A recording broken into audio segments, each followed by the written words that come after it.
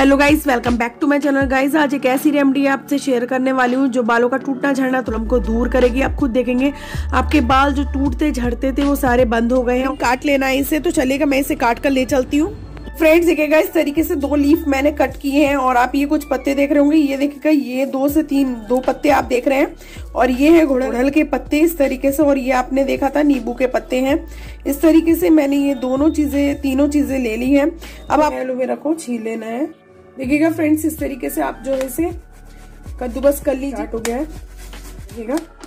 इस तरीके से और आपको ध्यान रखना है आपको जब लगाना हो तभी आप फ्रेश बनाइए। प्लीज़ इसे सेव करके मत रखिएगा। अगर आप चाहते हैं कि हंड्रेड परसेंट आपको रिज़ल्ट मिले तो ये देखिएगा कुछ इस तरीके का ये आप देख रहे होगा। आप जेली फॉर्म में कन्वर्ट हो गया ये देखिएगा। ये फ्रेंड्स आप देख रहे हैं एक तरफ़ ही जा रहा है आप देखेगा ध्यान से इसे। इसे मैंने जेली फॉर्म में कन्वर्ट किया है इसे।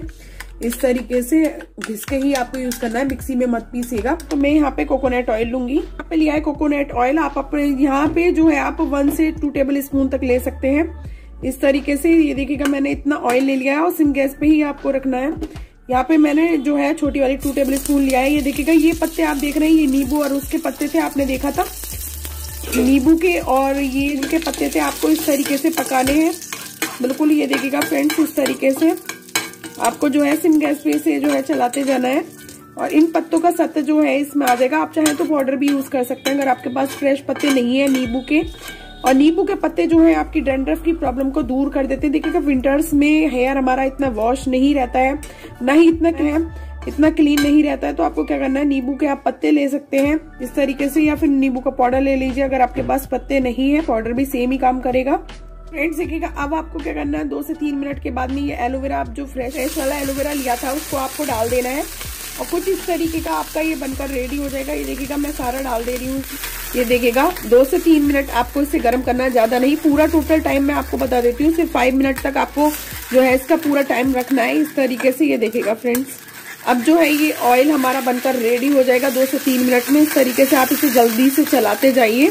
को जो है जल्दी से इसे चलाते जाना है। और ये जो है ये बेनिफिशियल ऑयल जो है हमारा बनकर रेडी हो चुका है। अब चलेगा मैं गैस का फ्लेम बंद कर देती हूँ। देखिएगा फ्रेंड्स आपको खाली एक बॉयल लेना इन आउट कर लेना है ऑयल को। तो देखिएगा फ्रेंड्स इस तरीके से आप ऑयल लीजिए और ऑयल को इसमें जो है, ये देखिएगा, इस तरीके से पलट लीजिए, जो है हमारा स्टेन आउट हो जाएगा ऑयल अच्छे से। जो मस्टर्ड ऑयल लेते हैं तो आप आयरन की कढ़ाई में भी बना सकते हैं। आप कोई सा भी पैन या बर्तन ले सकते हैं जो आपके पास हो।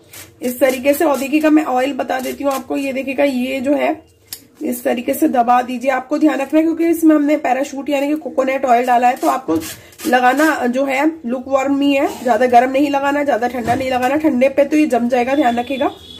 अगर आप इसे ठंडा लगाते हैं और ब्लड का सर्कुलेशन होगा आपका गर्म से लगाने से, हल्का निवाया ही आपको जो है लगा लेना है। ये देखिएगा, ये ऑयल हमारा बेनिफिशियल ऑयल बनकर यार बनाएगा।